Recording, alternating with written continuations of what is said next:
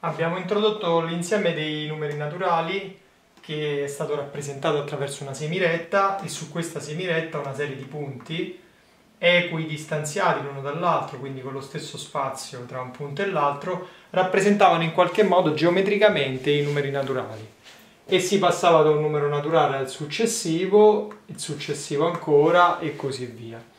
Su questi numeri naturali c'è l'esigenza di definire un certo numero di operazioni che su di essi si possono fare e qual è il risultato che queste operazioni hanno nel momento in cui vengono eseguite. E si va a definire un'operazione, la prima che si definisce, che è l'operazione di addizione. L'operazione di addizione è un'operazione che parte appunto dall'avere due numeri naturali, possono essere due numeri qualsiasi appartenenti all'insieme dei naturali, prendiamo il numero 2 ed il numero 3. Questi sono due numeri naturali, bisogna scegliere un simbolo per rappresentare l'addizione e il simbolo che si sceglie è questo qui.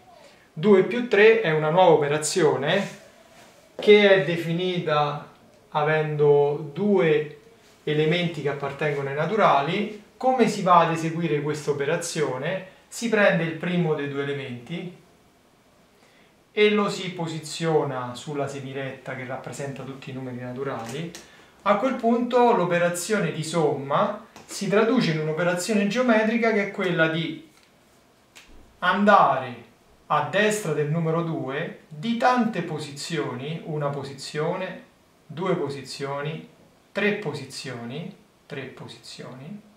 Il numero di posizioni che devo scorrere a destra è pari al secondo numero che sto sommando. Si arriva quindi in un punto che è questo, che risulta essere uguale il risultato di questa somma. Quindi il risultato della somma di 2 più 3 risulta essere 5 perché spostandomi di 3 posizioni dalla posizione 2 di partenza, che è quella del primo numero, arrivo alla posizione numero 5. Proviamo a fare un'altra operazione con lo stesso tipo di criterio e l'operazione che faccio è 3 più 2 ho preso gli stessi numeri e li ho invertiti, vediamo che effetto ha questa inversione. Intanto cambia il punto di partenza, prima il punto di partenza era 2, adesso il punto di partenza è 3. Il punto di partenza risulta essere 3, quindi questo è il mio punto di partenza. L'operazione di addizione abbiamo detto che è un'operazione che letta dal punto di vista geometrico mi fa andare dal mio punto di partenza, questo qui, il mio start, dal mio punto di partenza verso destra di quanti salti? Un salto, devo addizionare due, un altro salto. Quello che accade è che arrivo nel medesimo punto precedente, che è il punto identificato poi dal numero 5. Questo fatto, che il risultato è venuto lo stesso, verrà poi di seguito commentato. Questa è la modalità con la quale si può almeno inizialmente tradurre l'operazione di addizione in un'operazione che ha un impatto di tipo geometrico e che quindi è più, eh, diciamo, è più intuibile inizialmente, se vado a sommare per esempio questo numero 5 a un altro numero che è 4, cambia il mio punto di partenza, in questo caso il mio punto di partenza è l'arrivo che avevo prima, a questo punto devo sommare 4 cioè mi devo muovere verso destra di una posizione e arrivo a 6, la seconda posizione arrivo a 7, la terza posizione arrivo a 8, la quarta posizione ed arrivo al punto eh, agganciato al numero 9. Il risultato di questa addizione risulta essere quindi 9. Questo tipo di modalità con la quale fare l'operazione è una modalità da utilizzare all'inizio quando ancora la definizione non è chiara, le prime operazioni, dopo un po' il fatto che 5 più 4 venga 9 diventerà un pochino più automatico. E cosa succede se per esempio al mio 5 io vado a sommare 0? Beh, il mio punto di partenza era 5, quindi parto sempre da qui. La partenza è 5 e devo andare verso destra di tante posizioni quant'è il secondo numero che ho scritto. Il secondo numero che ho scritto è però 0, quindi io da 5 non mi muovo e se non mi muovo vuol dire che rimango in quel punto e che 5 più 0 è un'operazione che dà come risultato 5 stesso. Cosa succede se per caso inverto questi due numeri? cioè se a 0 sommo 5. Beh, se a 0 sommo 5 è cambiato il mio punto di partenza, che è 0. Applico la regola geometrica, che è quella di saltare di tante, tanti punti quanti ne identifica il numero successivo, un punto, due punti, devo arrivare a 5, 3 punti, 4 punti, 5 punti. Beh, arrivo a 5, scrivo che il mio risultato è 5 accorgendomi che è lo stesso risultato che avevo ottenuto prima. Possiamo leggere queste due operazioni che abbiamo effettuato cercando di ricavare qualche informazione di carattere generale. Un'informazione di carattere generale è quella relativa al numero 0. Beh, mi sono accorto che lo 0 sommato a 5 non modificava il numero stesso, oppure se a 0 sommo un numero, la somma è proprio uguale al secondo numero che sto mettendo. Vuol dire che la somma con un numero che è 0 sostanzialmente non cambia il numero stesso. Questo modo di dire che caratterizza il numero 0 può essere identificato dicendo che il numero 0 è un elemento, sicuramente è un elemento che appartiene a n perché l'ho preso dall'insieme dei naturali, ma è un elemento neutro, cioè un elemento che non va a modificare non va a modificare il risultato della somma se questo elemento è utilizzato nella somma, quindi è un elemento neutro. Bisogna specificare qual è l'operazione per la quale lo 0 è un elemento neutro. Per l'operazione ovviamente di somma. Se dovesse cambiare l'operazione che sto facendo, beh non è detto che quello 0 continui, ad essere l'elemento neutro. Intanto lo 0 è l'elemento neutro per l'operazione di somma. Quindi a qualsiasi numero io lo sommi, il numero di partenza non cambia. 9 più 0 rimane 9, 10 più 0 rimane 10 e così via.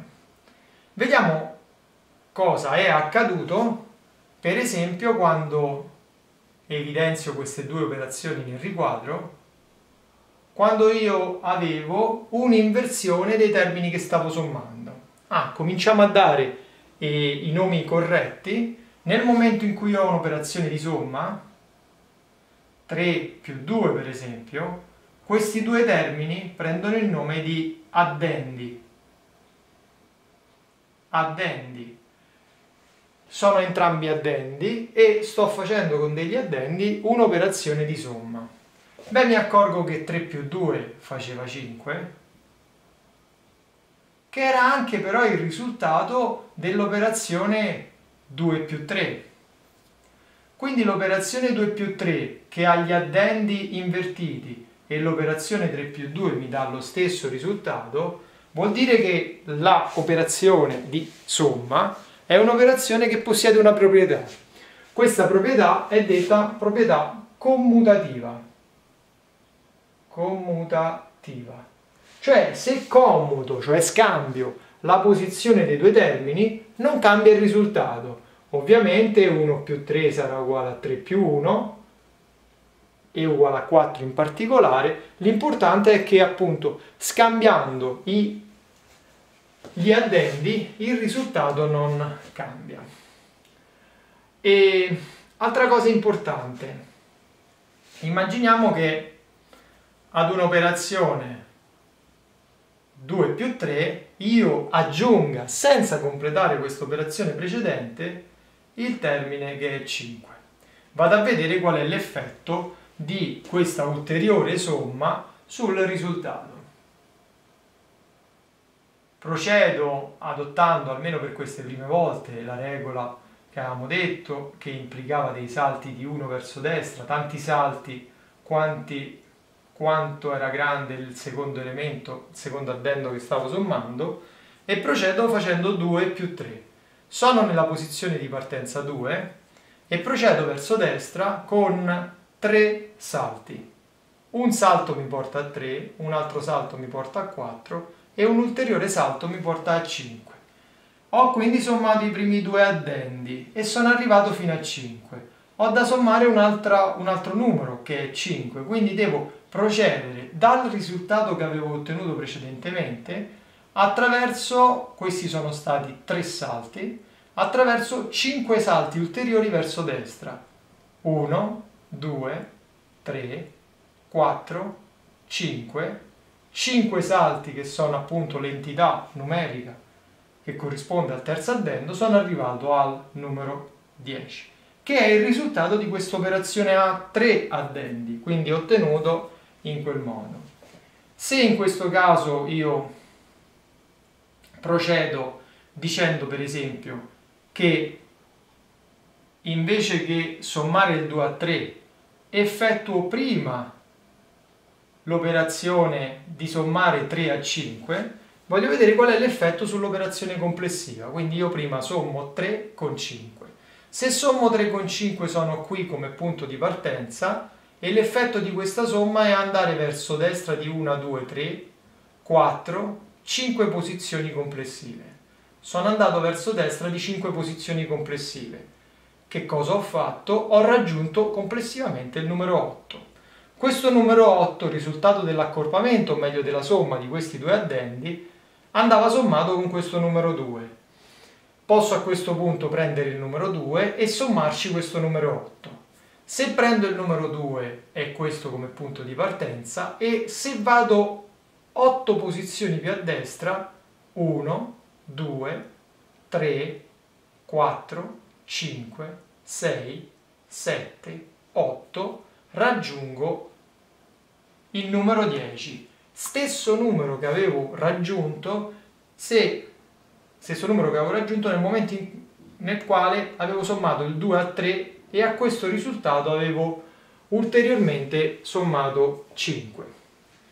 Cioè nel momento in cui ho 3 addendi è indifferente l'ordine con cui li sto sommando, cioè io potrei sommare prima questi due e ottenere, come abbiamo visto, un risultato che è 5 e a questo risultato sommare il 5 che mi è rimasto e andare a 10. Oppure sommare il 3 con il 5, ottenere 8 e a questo risultato sommare il 2 e ottenere 10. Cioè c'è una libertà da parte mia nell'accorpamento delle singole operazioni. Questa libertà, cioè di fare le operazioni con l'ordine che a me diciamo, conviene di più, allora è una proprietà che va identificata. Quella di prima era la proprietà commutativa, quella attuale è una proprietà che mi permette di associare coppie di elementi sui quali faccio una somma, associarli come voglio, è una proprietà che va sotto il nome di proprietà associativa.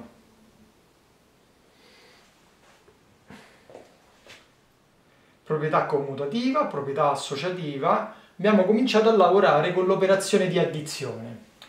Uh, l'operazione di addizione, abbiamo detto, è un'operazione che mi fa fare dei salti verso destra e tanti salti pari agli addendi che sto comunque lavorando.